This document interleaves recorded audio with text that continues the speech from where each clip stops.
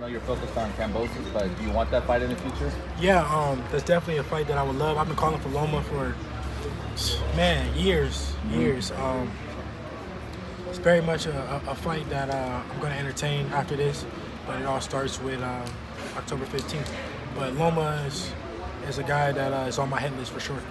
So you and Tank been going back and forth uh, in the last couple of weeks. Man, what do you think about that? Do you really think that you really want to fight you, or Um, no, I don't think that Tank gonna want to fight me or really nobody else. If you look at his uh, his his his record, he's fought pretty much nobody. You know, he's what is he?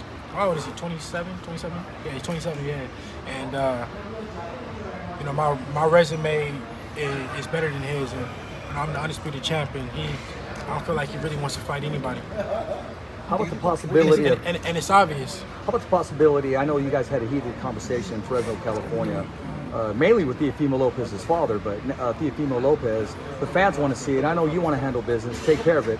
When can we see this fight take place? Yeah, well, you know, he's at 140 right now. So right now I'm at 135, and like I just said, I'm you know I'm planning to, you know, stay. Just depending on how I feel after the fight, but you know, I'm planning on staying at 135.